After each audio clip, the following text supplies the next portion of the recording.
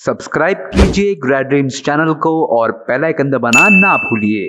Hello everyone, welcome back to Grad Dreams YouTube channel. This is Rituja. Today we are going to talk about the job opportunities for the computer science program in the UK. But before that, if you are someone that is looking for study in the UK, please check out the appointment link in the description below. As a computer science graduate in the UK, there are a wide range of job opportunities available for you, including job roles such as software engineer, data analyst, IT consultant, cybersecurity specialist, and many more. Here are some popular job roles, salary ranges, and the companies that are offering this job. The first job role is of software engineer. The average salary for a software engineer in the UK ranges from 39,000 pounds to 80,000 pounds per year. Some of the companies that are offering this job are Google, Amazon, Facebook, and Microsoft. The second job role is of data analyst. The average salary for a data analyst in the UK ranges from 25,000 pounds to 50,000 pounds per year. Some of the companies that are offering this job are Amazon, KPMG, Deloitte, and Barclays. The third job role is cybersecurity specialist. The average salary for a cybersecurity specialist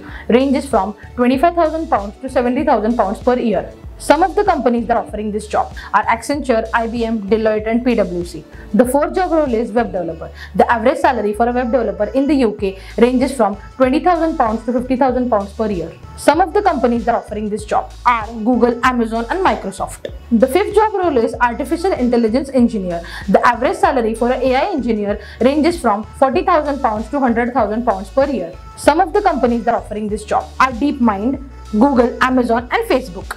The above salary ranges are approximate and may vary based on various factors such as your profile, location, company, and your work experience level. So that was it for today's video. If you like this video, please like, share, and subscribe to our channel and hit the bell icon for more such updates from Grad Dreams.